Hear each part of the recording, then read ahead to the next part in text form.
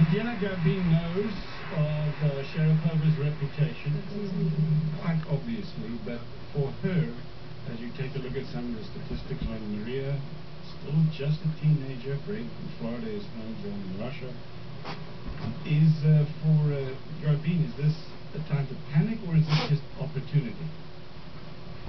Opportunity. That's the way she's going to look at it.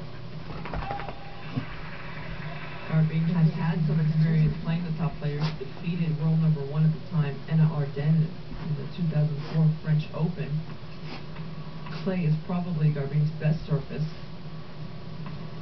The surface she grew up on, slides very well, plays great defense.